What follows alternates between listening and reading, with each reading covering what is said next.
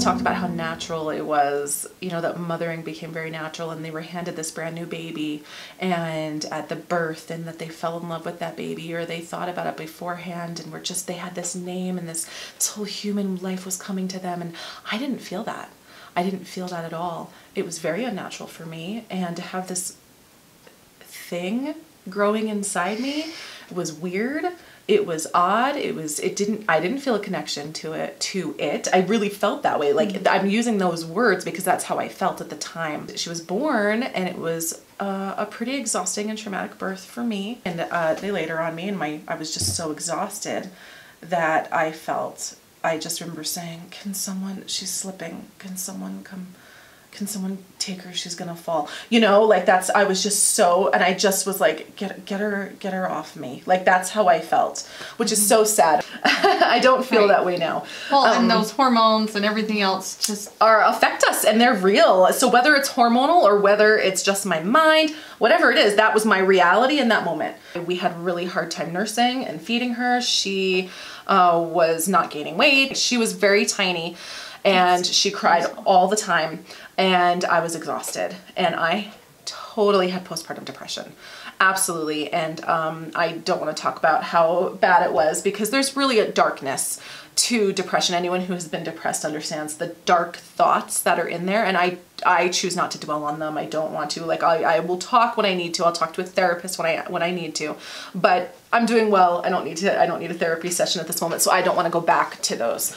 Um, so if you've ever been in a depressed state whatever level that is however that is for you I'm sure you can just take that on your own mind this is how I dealt with that um, so what happened is I remember uh, a couple months in, three months in, I just remember looking at my precious baby and thinking, I'm so sorry you have me as a mother.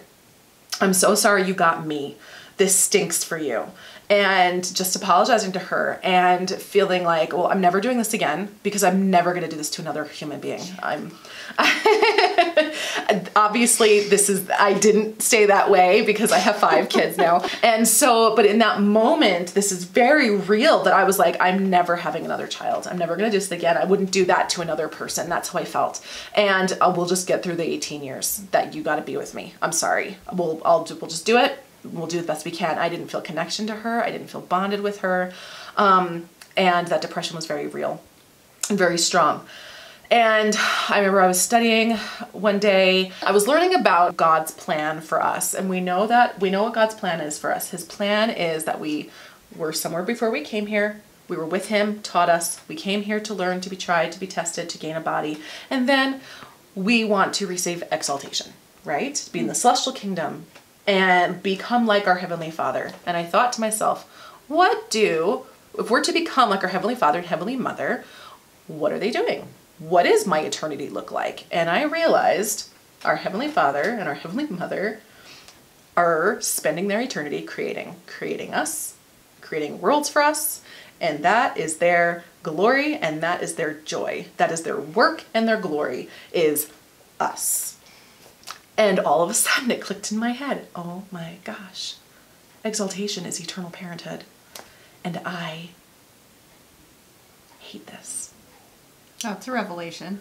Yeah, it was a pretty big deal. And I thought to myself, if I don't love it here, I'm I'm not going to love it there.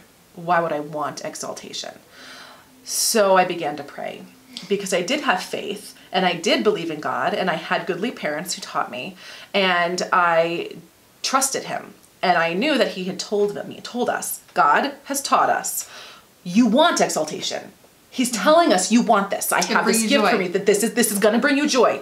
I promise you this is going to make you happy. And I'm going, "Really? Okay, if you say so, then help me out here. If I want this and I'm working towards that, then help me want this. Mm-hmm. And so that's when I learned, oh my gosh, this is my divine nature. That was the eternal truth that I learned was my divine nature is eternal motherhood. Whether you can have kids or not have kids, your divine nature, your divinity is to be a parent. in this life or in the life hereafter for eternity. That's what we're doing. And uh, that was an eternal truth that I learned through that trial that God had given me, and it became a powerhouse to me um, because, Obviously. well, it went from something that I was dreading and hated and felt completely unnatural doing to studying and learning and trying and begging God sometimes and praying and working towards this and getting help mentally, getting support from family and sisters and bishops. And this was so I put this whole support system in place for myself and self care and working on these things because it does take all of it. I don't think there's any amount of prayer alone that can make depression go away. It doesn't work that way. Um, well, and and what you just described, God took your weakness and made it a strength. Absolutely. And it doesn't it wasn't quick. It wasn't like overnight I said a prayer or got a blessing and God's like, "All right, done.